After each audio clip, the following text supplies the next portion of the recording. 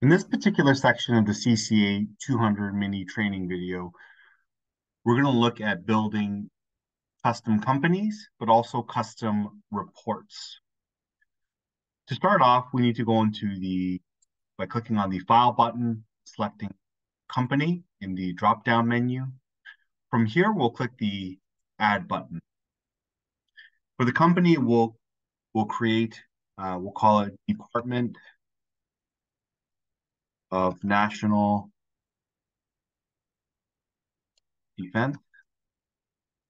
And from here, we'll click on OK. Once we click on OK, we can see that under our company listings now, we have Department of National Defense. Uh, now we can close out. So now from our regular working screen here, uh, we can see that under company, we have Department of National Defense selected. Uh, we don't have any records uh, under our audiograms, and we also don't have any subjects under total subjects.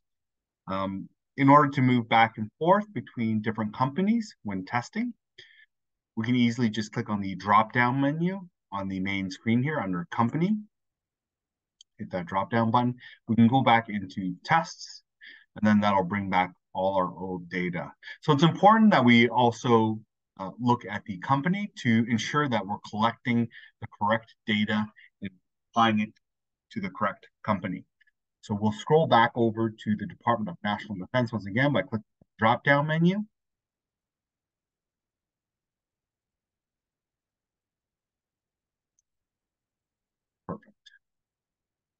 So now we'll create some custom headers in order for us to sort the data. So under assign audiometer subject, click on that button. Uh, and you'll notice here on the right-hand side, we have location. We can right-click on the, or sorry, Yes, right click on the location. Under the advanced setting, we can now change the prompt. We wish to change that from location to division in this case.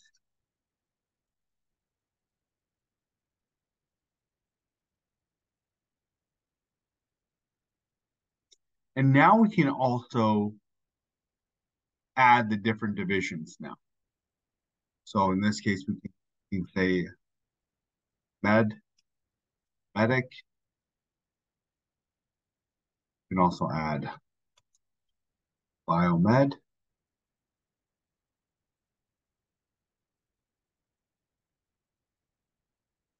So office.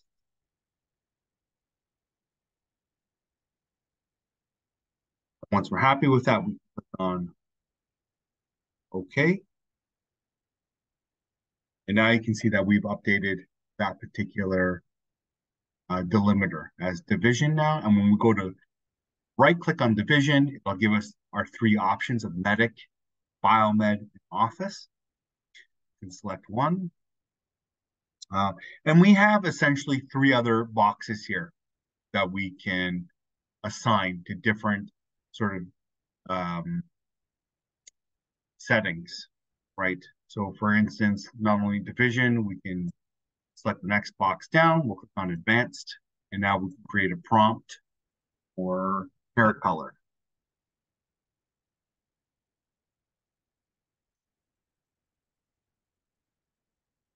Then we'll go to add, say black.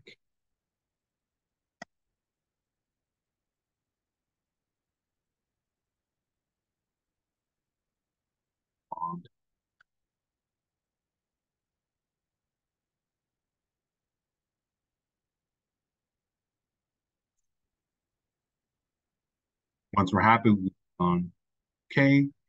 Now we have a delimiter for hair color, which we sort well. Uh, this is this will be important when we go to create our custom reports. It'll give us um, more power to sort through the um, data and it'll give us the ability to look at certain pieces of data. Um, and then from there, uh, we can enter in all the other subject IDs. For example.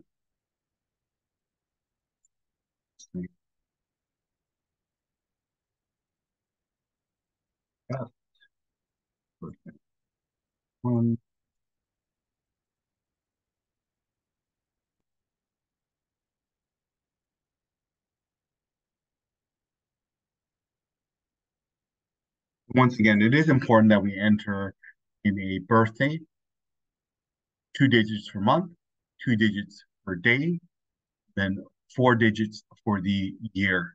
Uh, sex is also important for age correction. Um, so that also has to be entered, either male or female in this case, uh, and the hiring date, uh, which is not compulsory. But for division, we'll put the medic, hair color, we'll say red. Then we will go ahead and assign. And that is how we build custom headings for our custom reports that we can generate later on.